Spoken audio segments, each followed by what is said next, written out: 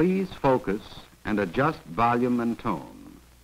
The voice level is identical with the narration that follows the main titles.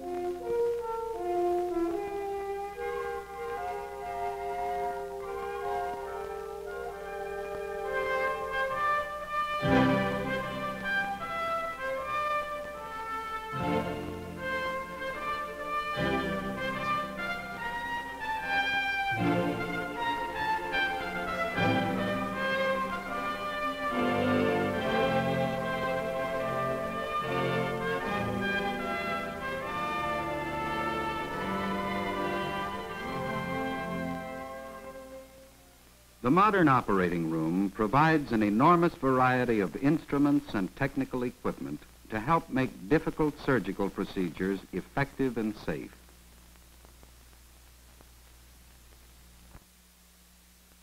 Despite these aids, there still arise many situations in which control of hemorrhage constitutes a problem.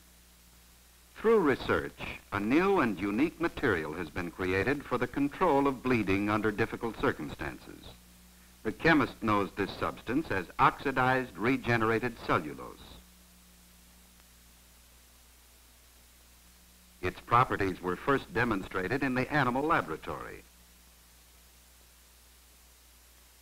When a deeply incised wound is created in the liver of a dog, profuse bleeding ensues.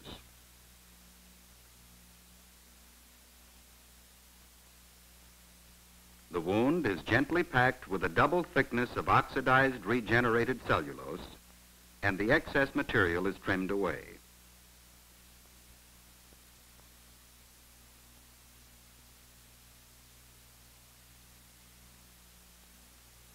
Hemostasis is complete in two to three minutes.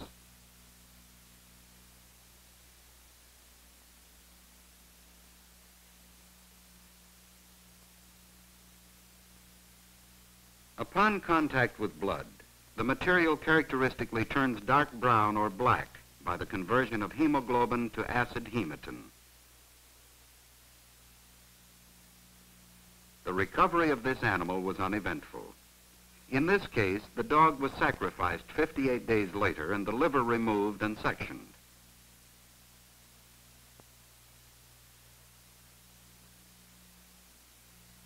There is no evidence of any remaining hemostatic material, despite the unusually large amount used for experimental purposes.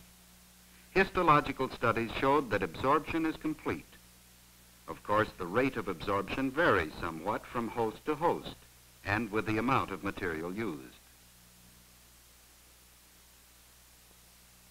Many tests have been developed to study the absorption characteristics of the new material in tissues. For purposes of demonstration, Cellulose in the form of ordinary gauze is here compared to oxidized regenerated cellulose by implanting 75 milligram pledgets of surgical gauze in the subcutaneous tissues of rats using a modification of the Franz lattice technique. After seven days, the tissue reacts to the implanted mass of ordinary gauze with encapsulation and marked vascular proliferation.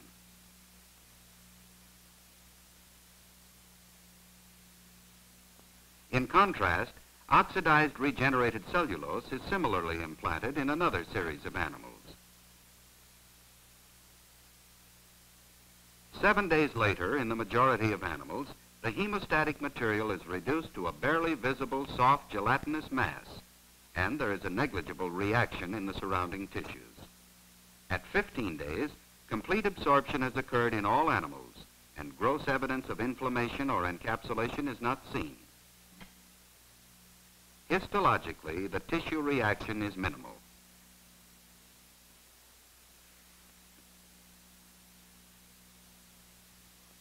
To illustrate an important application of oxidized regenerated cellulose in cardiovascular surgery, the thoracic aorta of a large dog is excised and a crimped Dacron graft implanted.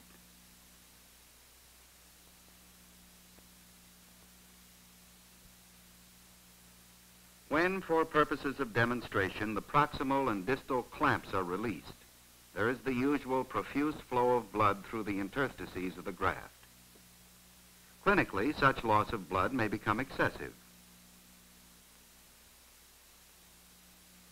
However, when strips of oxidized regenerated cellulose are applied to the graft, this blood loss is minimized.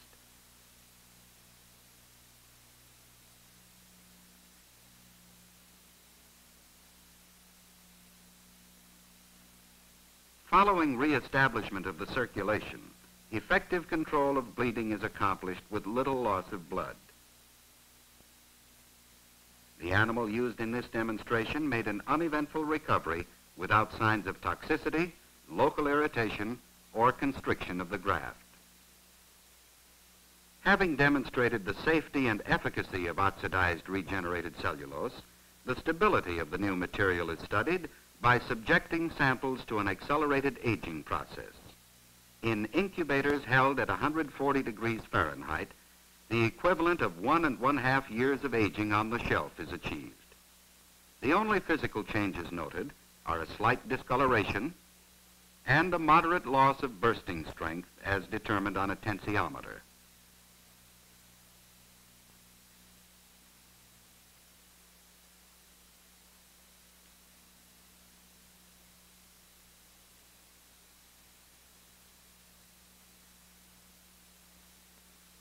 The hemostatic activity of the artificially aged material is tested biologically using a biopsy punch technique in a dog's spleen. This method ensures complete and constant contact of the sample with blood under uniform conditions.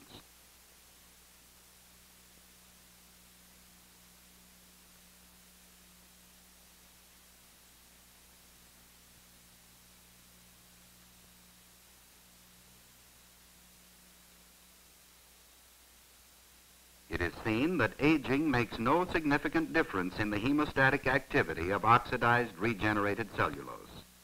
Other tests show that its absorbability in the tissues also remains unchanged. What then is this new surgical hemostat? What gives it its desirable properties? Purified alpha cellulose, derived from cotton linters, is dissolved in an organic solvent which converts the cellulose to a viscose.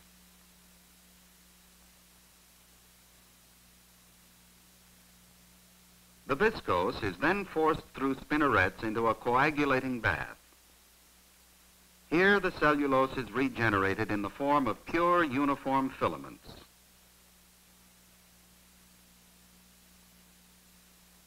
These are then made into carded fiber pads, similar in appearance to absorbent cotton. Or they are spun into threads and knitted. The regenerated cellulose has something not found in the natural fiber, uniform molecular and physical structure. It is this uniformity which makes it possible to achieve accurate control of the all-important oxidation treatment which follows.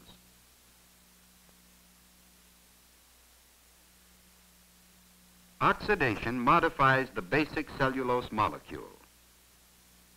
By this step, a primary alcohol radical is oxidized to a carboxyl group.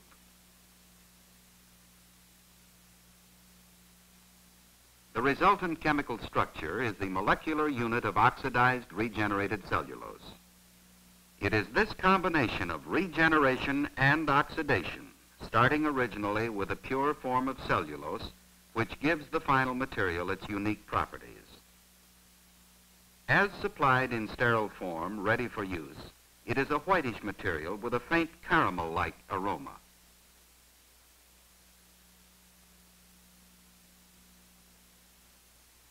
Microscopically, the uniform diameter of the fibers is a characteristic physical feature.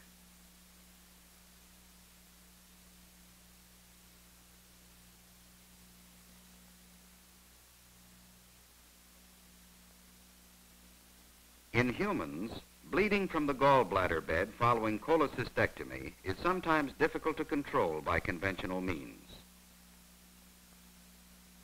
Here, an absorbable hemostatic material may be especially useful, although it should never, of course, be regarded as a substitute for good technique and the proper use of sutures and ligatures.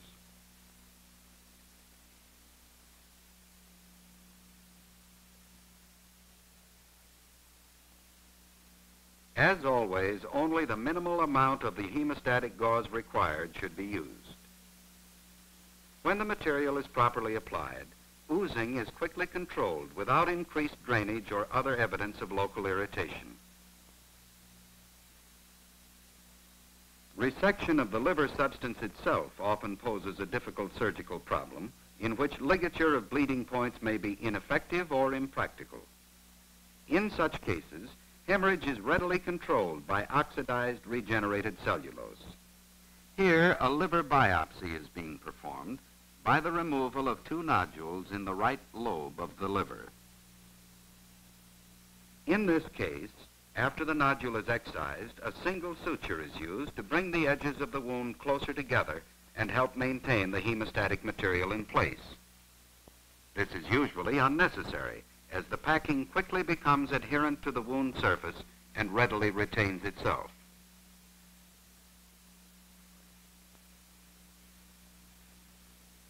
The adjacent nodule is treated in the same manner. Bleeding is promptly controlled, and this is the appearance of the liver at the completion of the procedure.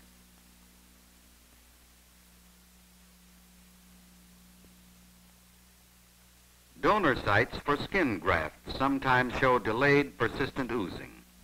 For purposes of comparison, grafts cut at a depth of 12 ten thousandths of an inch were taken from both thighs of a patient requiring extensive grafting as a result of burns. To the first site, ordinary petrolatum gauze is applied as a dressing. At the same time, the graft site on the opposite limb is dressed with a single layer of oxidized regenerated cellulose.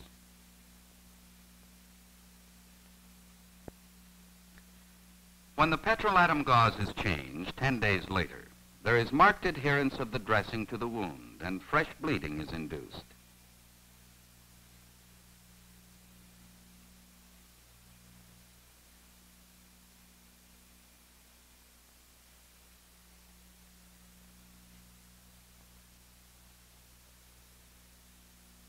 However, when the hemostatic gauze dressing is removed from the opposite site at 10 days, it strips off easily without inducing further bleeding, and healing has progressed in a satisfactory manner. Only a margin of cellulose in the area which was in contact with the skin remains intact. The rest of the material has been dissolved.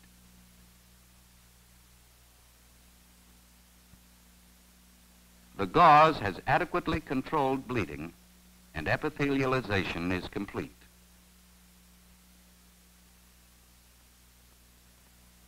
Here is an emergency situation all too often seen in the clinic or in the office. This finger wound, in which there is loss of substance, resulted from a paper cutter accident. The new hemostatic material is applied directly to the wound to control the bleeding. The finger is then wrapped with ordinary gauze as an outer dressing.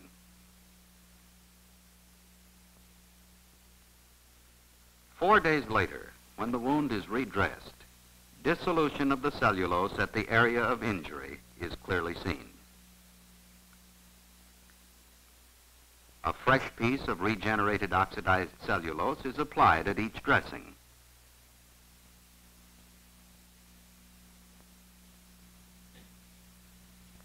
New epithelium is now forming, and the area of solubilized cellulose grows less as the exposed tissues shrink in size. The ready removal of the hemostatic material without adherence to wound tissues prevents secondary hemorrhage, discomfort, and delayed healing. These same properties are likewise valuable in oral surgery. This patient has just had all of his lower teeth extracted. Oxidized regenerated cellulose is used as a packing and quickly arrests the bleeding.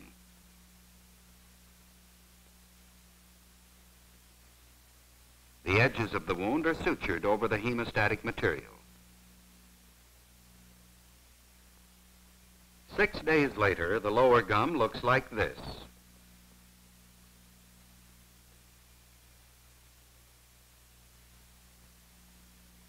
Healing is complete by 15 days, and the patient is ready to be fitted for dentures.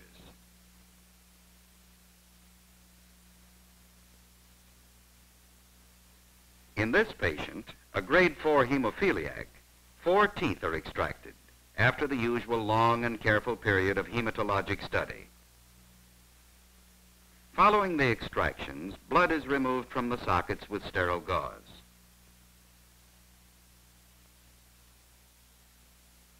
The oxidized regenerated cellulose is then implanted to fill almost the entire socket.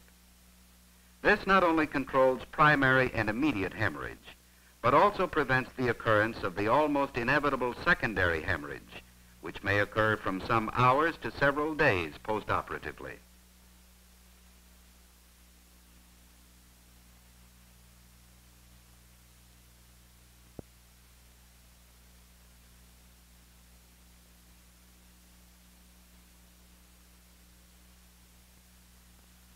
An overlay of the carded form of the hemostatic material is applied to the extraction site and the operative area covered with a splint. The time required for primary healing after extraction is between 4 and 15 days. The extraction of teeth in patients with hemophilia is a dangerous procedure. However, the use of oxidized regenerated cellulose, together with other well-known techniques, greatly increases the safety factor on patients afflicted with this and similar blood dyscrasia.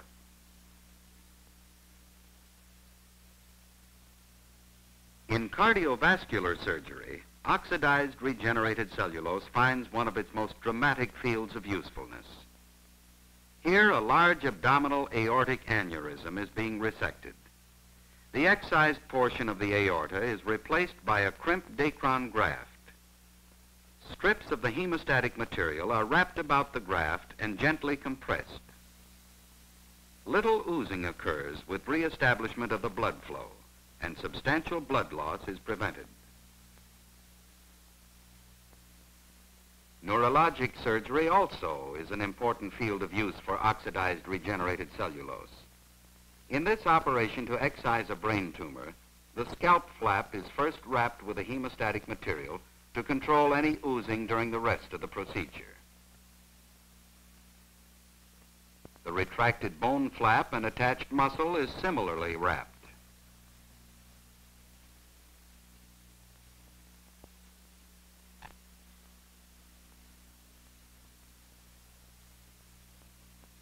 Venous bleeding from dura and brain is controlled with carded fiber pledgets of the hemostatic material.